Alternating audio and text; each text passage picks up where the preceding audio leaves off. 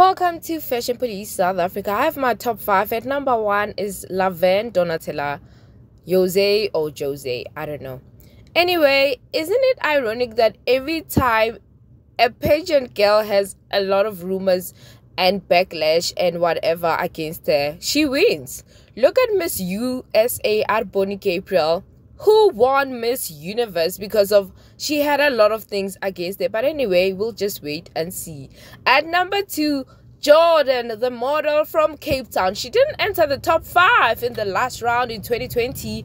And I think that she's gonna enter the top five. I think she's back strong. She's ready. At number three, Humba Mazaleni. She can speak for days. I think she must improve on her stage presence and will be ready to go.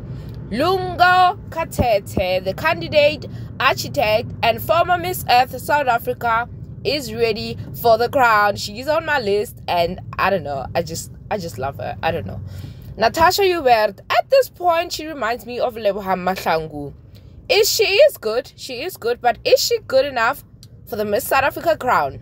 We just have to wait and see. Natasha Joubert is good, guys. She's gorgeous. She's amazing. She can speak. She knows everything about charity, charity about pageant. But is she good enough to wear the crown? Is she good enough to wear the crown?